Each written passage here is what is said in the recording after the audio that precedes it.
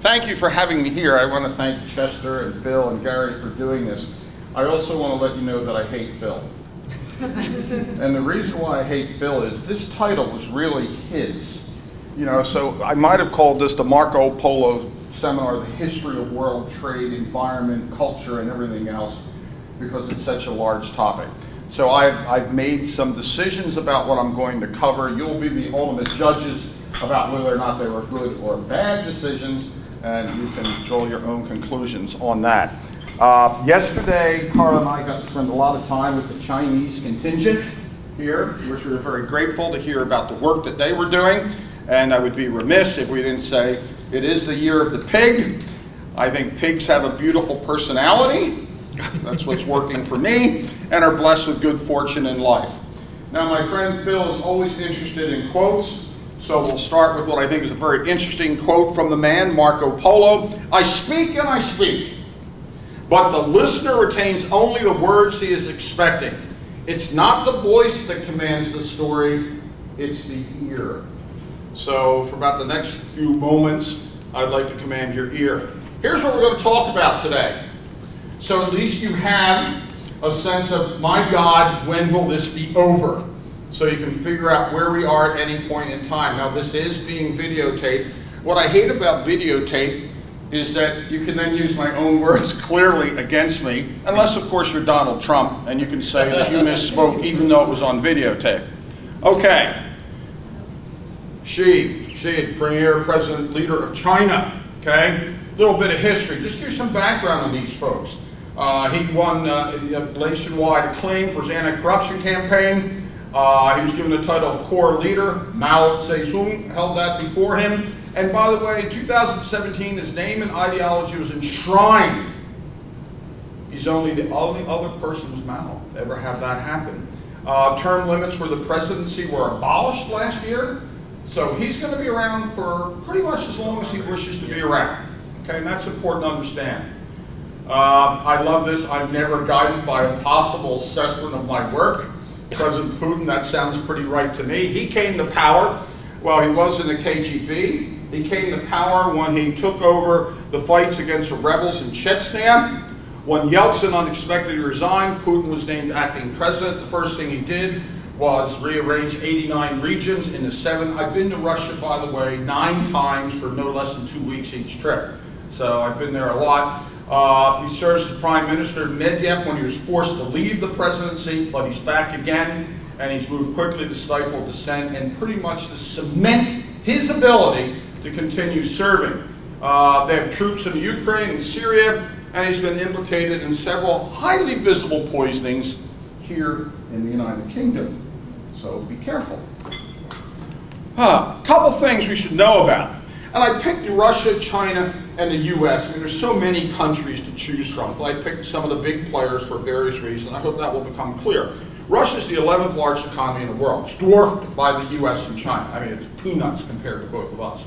Look at, I think this is fascinating. China's per capita growth is approaching that of Russia's, their GDP, but yet they have eight times the number of people. That should give you some idea about what's going on in this economy. Their GDP is growing three times faster than Russia, so that distance is just going to continue to grow. Now, Russia's military expenditures are lower than China's. And Russia's always prided itself on its military expenditures, and so that gap is going to continue to grow as well. Russia's probably the more immediate and proximate military threat right now. They've used invasions, intimidation, assassinations, and data manipulations, and we've recently just seen the brouhaha over uh, medium, intermediate, long-range missiles in the United States has withdrawn from that treaty. But China is the far greater global economic power, and that's not about to change.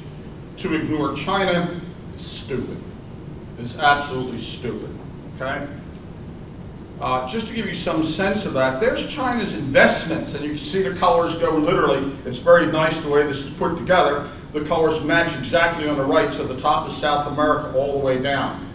China has made enormous investments in Africa. Enormous investments in Africa. I, I don't mean this as a criticism. They're not dumb. They're doing it for a reason. There's where their investments in Africa are. Transport and uh, energy and in metals and things like that. They're all over Africa. They're all over Africa. There's almost no nation in Africa you cannot go to where China does not have some presence of some kind. Now, why are they doing that? Well, I want to secure a solid base of raw materials to finance our growth. I want to be well positioned in probably the next major growth area in terms of trade and economics in this century. They're positioning themselves there. But look at my third paragraph there. 90% of the world's supply of platinum and cobalt, half of the world's gold supply, two-thirds of the world's magnesium, and 35% of the world's uranium. Africa accounts for 75% of the world's coltan, an important mineral used in electronic devices. Again, no other country on the face of the earth has the depth, the breadth, and I could have put the length of engagement that China has in Africa. We've been ignoring them, the United States. I have to make at least some passing comment about Brexit. After all, I'm in the United Kingdom. You should kill me if I did make some comment about that. The biggest thing with, with Brexit, and I think many of you would agree, is the uncertainty. You know, nature abhors a vacuum, business hates uncertainty. And part of the problem is we don't know what's going to happen. We can all say, here's our favorite prediction, but the truth is we simply don't know until it happens. But businesses are starting to take action. I think it was Nissan, please correct me if I'm wrong, it's just canceled a plant it was going to build here and instead going to build it at home. The financial community is another one you should keep your eye on because there are many financial places here from other countries because A, you speak English, and you're close to Europe, and you're part of the European Union. Some, some things might happen there along the way. And obviously, what happens will have an impact on global trade as well. And my crystal ball is no better than anyone else's in this room, and I've eaten a lot of ground glass in my life, and I'll probably eat more later on. Sigh. Now we go to Donald. I had to really carefully look around for photos because there are a lot of photos that make him look stupid. Now, it may be because he is stupid, but I was trying to be kind. Notice a quote there. The concept of global warming was created by and for the Chinese in order to make U.S. manufacturing non-competitive. Folks, I'm embarrassed. We have a president who lives in a world occupied only by him, where truth is elastic. Truth is whatever he says it is going to be and goes along the way. And what happened? And God, there are more criminal investigations going on around him than probably all the hairs on people's heads in this room. And I have no idea how that's going to play out. I was up late last night listening to the State of the Union address. After I heard it, I wanted to kill myself. Uh, because once again, one of the comments he made was he's sure that if he was not president, we'd be at war with North Korea right now. Now, I'm sure we'll hear how that was a misstatement put us on tape, or he was misinterpreted. Uh, and he said very little about global trade. But what he did say is, I'm going to build the wall. And that's part of the problem. What's our trade and economic policy? I don't know. You tell me. I have no idea. I don't even think the people in the Trump administration know what our policy is. Look at what we've been doing. Make America great again. Excuse me while I turn my back and throw up. But that's what we're doing. By the way, and that is being seen by many of our allies as a repudiation of long-term arrangements. If you think about it, why not make Britain great again? Why not make Germany great again? It really is an inward focusing. Look at what he has done. He started trade wars with China and Europe. He's walked away from NAFTA, the uh, Trans-Pacific Partnership, from the climate accords, and again, this intermediate policy. He seems to walk away from a lot of stuff, and doesn't necessarily propose anything else to deal with it. He is focused on this wall. Some of you may have noticed we shut down government in America for 35 days, the longest shutdown in history, and at the end, I'm holding in my hands what he achieved. Let me give you another angle in case you can't see it. He got absolutely nothing. The political dynamics have changed dramatically. He has found out that Nancy Pelosi is a worthy and tough adversary. Now, so let's talk about trade, okay? Here's China's exports. Uh, these are the latest data. 218 has not yet been released, or at least I've not found a website that's given me the data for it, so it may be better. I think it's interesting that China still considers exports with Hong Kong as exports, but I think that's because of that special relationship. But all I want you to look at here, two things. Look at the volume, the dollar volume, okay? And look at the, the value of the trade with the United States as compared with anywhere else. I think I could make an argument with you very carefully and clearly that at least in the short to intermediate term, it will be hard for China to replace the dollar volume of trade it has with the United States with any other country, just because of the size. Here are their imports. South Korea, Japan, you see United States is much smaller. We'll talk about that in a minute. And I did find, at least in one of the charts, it did say that was Hong Kong. You see, there we are there. Here is Russia. Notice the size differential. Notice the dollar differential. I go back really quick. The top, their top exports are to China, 38 billion. Notice China's top exports are 430 billion, more than 15 times that. So when we say Russia is not a major economic player, they're not. But the concern is they're a large country. They border Europe in a variety of ways, and they still have a great number of ways to threaten world peace. Here are their imports. China's a big player for them. If we go to the United States, there's our exports. Uh, the, I've not been able to figure out the numbers. These numbers I've got from the same website. So those who are looking closely say, wait a minute, John, those exports to China of 130 don't match what you said China's imports were. You're right, I don't know. But they are less than China's imports to the U.S. And here's our exports. I'm sorry, imports. You see it's a bigger number than before. In essence, the only point that I'm trying to make to you is that China, in a trade war, is really dependent on United States imports.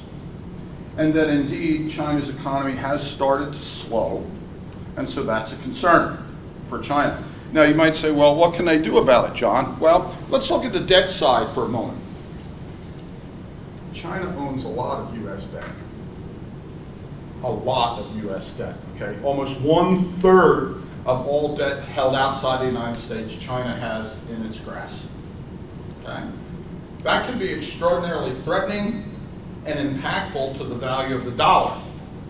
What helps is China doesn't want to necessarily drive down the value of the dollar because of all the dollars they hold. So it's like they shoot themselves in the foot there. So they're not ready to do that just yet. Own almost one third, I tell you why. They, that helps their economy grow. They like to keep it low. Uh, geez, that, and by the way, when the dollar value drops, what often they do is they buy treasuries because they're cheaper. If the dollars they have on hand, they buy treasuries, so they increase their, their investment in the United States in that way. It's worked.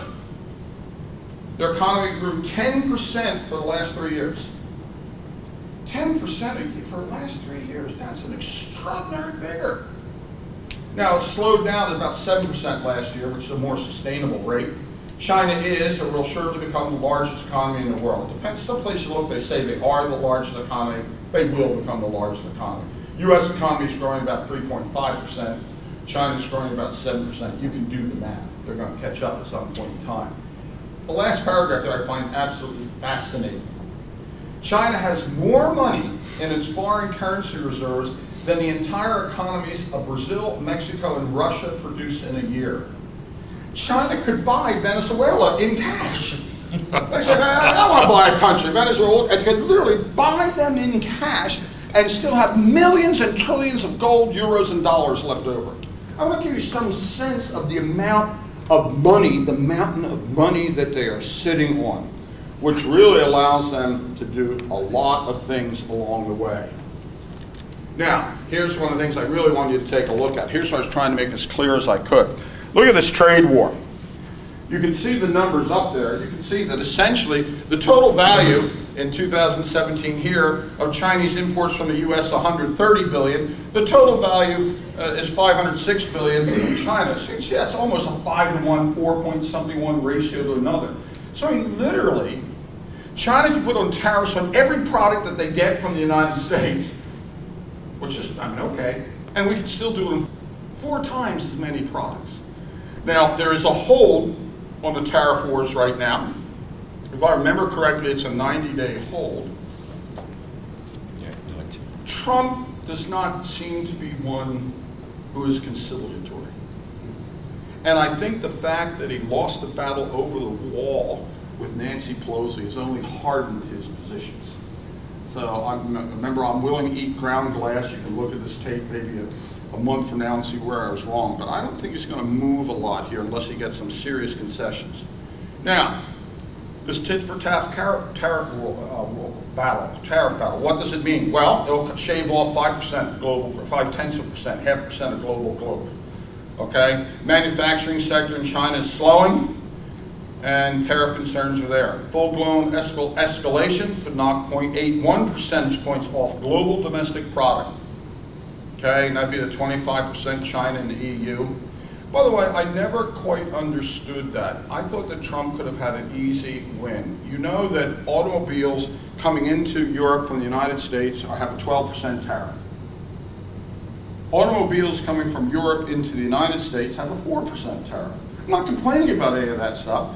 But wouldn't it have been better politically and smart to go to Europe and say, hey, we, we got three choices for you here.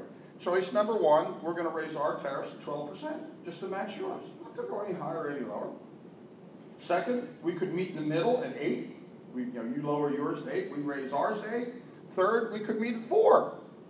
I have no idea, and I've talked to people in Washington, nobody knows where the 25% figure is. like, oh, what am I feeling like? Uh, 25%. I'm glad it wasn't a 50% day, but it was a 25% day. Most of the impact will come through disruption of domestic and international supply chains and have an impact this year.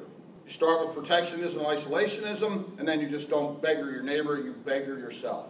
What everyone is hoping is this is a blip, and it will go away. But I remind you, people are not paying attention so much to the tariffs that he's imposing on Europe. The big focus right now is on China. That's what's eating up a lot of the press, China. And he also, by the way, just announced another meeting with North Korea. Well, we can do the battle in other ways. Okay, so I can escalate the battle on tariffs in different ways. So what do I do? Meng Zhuo, or Wang Zhu, did I get that right, folks? Close enough. Uh, she goes to Canada, big mistake, because the U.S. immediately demands her extradition because they're uh, accusing the company of lying about the firm's ties to other organizations, and so Canada has detained her. And in response, China has uh, arrested a Canadian diplomat. So you notice the trade war can escalate into other adjacent arenas having nothing whatsoever to do with trade. Now, let's take a look at this.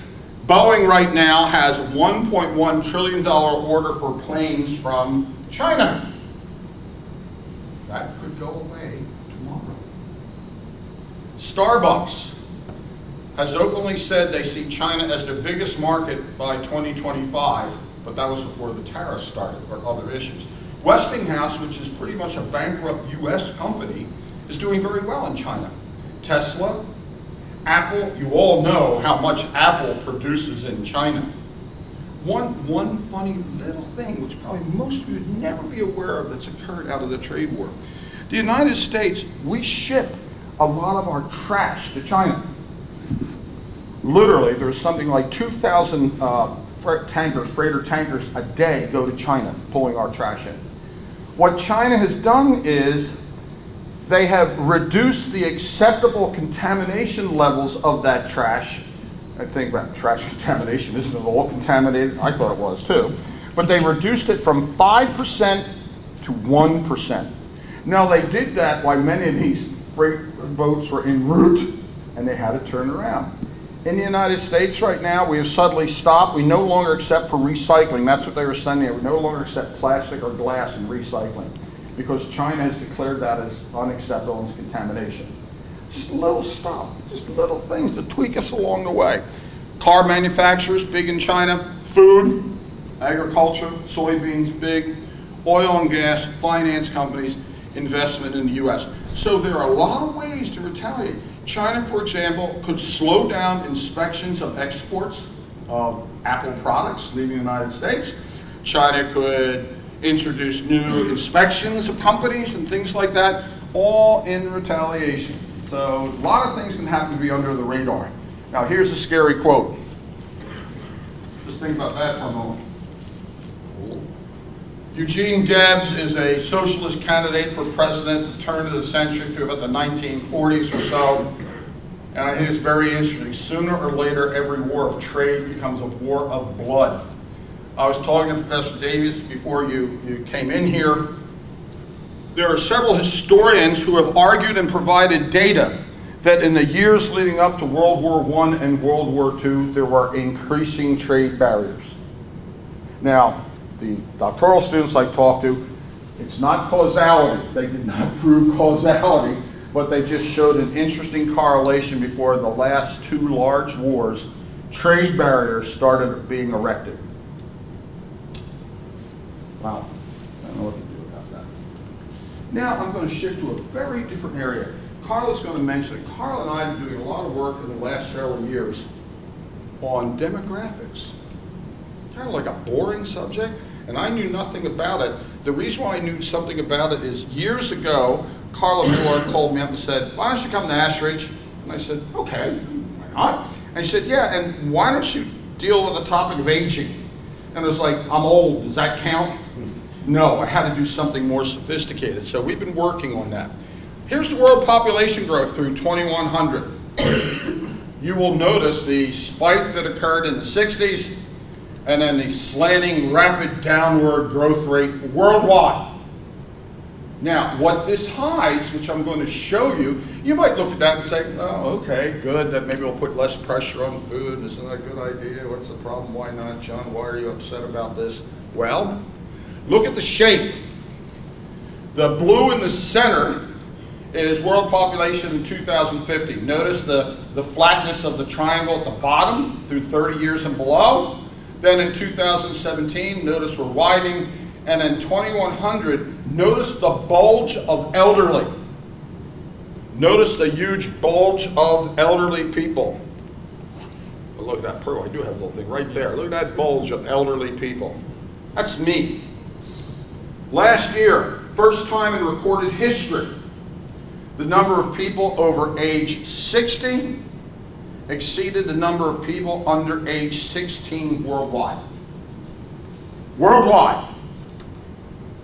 Okay? In Europe, by 2050, and most of you will all be alive in 2050. If I'm alive, that'll be a miracle. But most of you will be alive in 2050.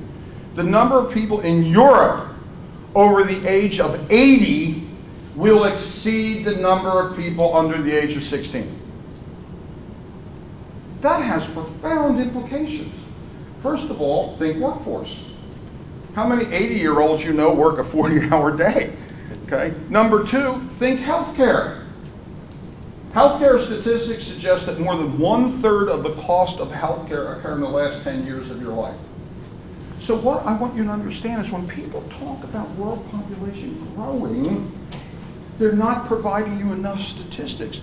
World population is growing because older people are living longer. BBC News, Tuesday. Tuesday ran a story about 600 people a day in the United Kingdom are leaving work to care for their elderly parents. That seems to me like a big number. 600 people a day, and more than 5 million people who are working right now are preparing for uh, taking care of their elderly parents. Now, think about China. I'm going to get to that in a minute, I'll give you another figure that I find absolutely fascinating. According to demographers during the one-child policy, 400 million live births were eliminated in China during that entire period. 400 million. That's greater than the population of Canada, the United States, and Mexico. Now, I'm not making any comment about it, but look at what that does to your pool of people. You don't replace 400 million people in a few years. Think about what it does going through to your working class and age population. Total fertility rate. The fertility rate is what you want to look at, not birth rates. Okay?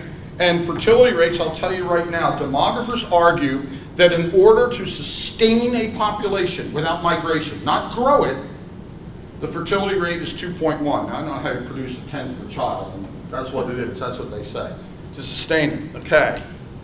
Total fertility rates. You'll notice no country up there, with the exception of India, and France is barely on the brink, is basically producing enough folks to maintain its current population size. That's not to grow. Italy needs immigration of 100,000 people a year to maintain the size of its workforce. Not to grow it, not to expand it, but to maintain the size. I would suggest to you that for the young people here in this room, the battle in the future is going to be over bodies, it's going to be over people. It's not just going to be over resource. I have all the resource, but I don't have anyone to work with them. What do I do with them? It's going to be a battle over people. Let's go, go a little bit further here. China, because it is Marco Polo, it's China, it's a year, and I think China is a crucial economic player. Let me talk to you about dependency for a minute. It's another demographic term. The red is old age dependency, and the blue is youth dependency ratios. What does that mean? The assumption that demographers make in figuring out what this is is that people aged 0 to 16 are not working and are dependent on people aged 17 to 64, and people over 64 are not working and are dependent on 17 to 64. So the dependency ratio is you take the number of people below 16 in the society and you take the number of people over 64 and they're the ones that are dependent on that working group. Just take a look there, both age and youth dependency are skyrocketing in China. For much the same reasons everywhere else. China has a lower birth rate, people are living longer. By the way, dependency ratios throughout the world are climbing. This is not just a Chinese problem dependency ratios. And by the way, remember the assumption there? 17 year working? If you look at Greece, Portugal, Spain, and Italy, the unemployment rates of people aged 18 to 30 is approaching 50%. So if you're unemployed, you're now dependent too. And that assumption is that at 17 you can be employed. That's being all blown to hell too, so that's not being counted here. I don't know about any, any of you. I find this scary. Now, the good news is I'm old and I'm going to die. I'm sorry to be so narrowly Not for a long I'm time. Huh? It's not for a long time. Yeah, but, but I mean, but the rest of you are going to have to deal with this. Now, I'm going to address some things specifically to the Chinese students that I think you'll find interesting. Uh, yes, just, I just have to do one more thing here to show you one more, one more piece of data. See if I can do this right. There is the Chinese birth rate per woman in 2016, 1.62. If you go online, you can find photos of Chinese families in like 1970, and the photo would be as large as the number of people in this room, the extended family, aunts, uncles, cousins, brothers, and sisters. Then you go to 2015, and there are about four of them there. There are about four of them there. So that's what that slide was to remind me to go there. There is the birth rates of what is going on all the way through 2010. And one of the things I just want to point out to you is you can see where India, this is India right here, has been exceeding China's birth rate. India will become in the next 20 years the most populous country on the face of the earth. They will exceed, I who would have thought that one, but they will exceed it. But notice how all the numbers are trending below two. The question is, where are the bodies going to come from for the future? By the way, this is kind of like the depressing part. If I haven't made you depressed, I'm working hard. Okay? 1.4 billion. There are 34 million males and females in China right now. More than the population of Malaysia, who, if you'll forgive my bluntness, will never find will never find wives and only rarely have sex. Now, I'm assuming the 34 million guys are not all gay. I don't have a problem with gayness, but I'm assuming some of them want to be married. Okay? Millions of couples. Let's, let's go on further. Look at the birth gap. There's 2018. There's the data through 2100. In 2018, 45 million boys were born, 35 million girls.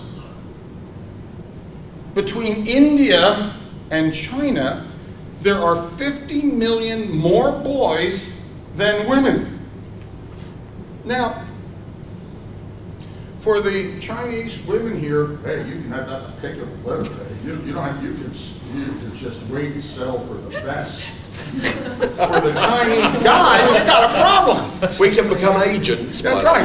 You, you got, well, wait a minute, you're gonna see something. You got a problem. I mean, think about two things. One, if I want to get married, and in the culture, getting married is a big deal. We're talking about a cultural issue. If I want to get married, where am I going to find a wife? I'm, I'm very serious. And where are we going to live? In other words, I might find a lovely Chinese lady in Vietnam who says, I'm not coming back to China. So that's some interesting issues there. There's just another look at the dependency ratio. I'm just skipping by. That's just another view. Now, age-old rhythms of family life. Adult sons live with their mothers, in some cases their grandmothers in China. Indian Chinese women who show a marked preference for sons are growing old. They're still burdened with cooking, cleaning for their adult sons. One said, I've cried so much I can't see anymore. Look at the bride price. You used to have a few hundred bucks. In many areas of China right now, you want a bride, you need 30 grand. So ladies, now you know what kind of a reasonable asking price is. You know, if you're being offered a few hundred, forget it. Having sons was once a hedge against poverty and old age. Now elderly parents are sacrificing to help their sons appear marriageable and to support those sons who fail to find a bride. And there are going to be more sons who don't find a bride. Remember demographics we're talking about? Think about what that does to the population over time. China last year, for the first time in its history, has labor shortages. Who would have thought of that? China labor shortages is some sort of joke. They have labor shortages right now. And they're actively trying to bring people in to immigrate. Now, part of the problem is I'm really stupid, I mean that honestly. I, the Chinese language I find incredibly difficult. Now, for those people who are not Chinese, who speak Chinese, you have the greatest respect of me, uh, from me, and I mean that quite honestly. So, I mean, so China's not on my list of places I want to go and work. I love China, but I couldn't work there. Portion of men will fail to find brides, but they're going to stay in the marriage market, competing with younger men to marry younger women. By 2050, French demographer Christophe Guilmoto says there could be between 150 and 190 men in China for every 100 women. So if you're a woman, it's a buyer's market, babe. If you're a guy, I'm sorry, good luck. You know, good luck. Good luck. I probably talked way too long, so I only have a few other things. I want to talk about global currency. I hope everyone knows, I had nothing to do with it, what a boon it is to the United States that the dollar is a global currency. And I hope everyone understands that. I can go worldwide and trade dollars. But some of the other impacts that people don't understand. The United Kingdom wants to go out and buy oil from Saudi Arabia. Guess what? You have to take your pounds and buy dollars because Saudi Arabia only accepts dollars. Now, Iran doesn't, okay, but Saudi Arabia does. So that currency is an enormous scam. There are an enormous number of dollars out there in the world that really prop up our currency. And so when people want to buy oil, for the most part, most of the world's oil countries, they want it in bucks. It's not true. That's starting to change. Now, what's the impact of that? And where are we likely to go? This is my last set, by the way, for those of you saying, does he ever shut up? He does.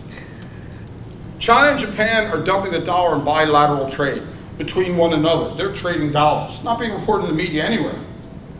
The BRICS, again, they have started, this is new, they're now using their own currencies when trading. So Brazil will accept the real, accept the, uh, the, the, the, come on, I lost my Russian, ruble, et cetera, et cetera. Russia and China have a currency agreement. That is, they've been using their own currencies for trading one another for more than a year. So I will use the yuan or renminbi and we'll accept the ruble, okay? China is the biggest trading partner with Africa, and they're really pushing Chinese currency use in Africa, which kind of makes sense. Uh, China-UA deal, China U.S. Not Arabs have ditched the dollar and use their own currencies, okay?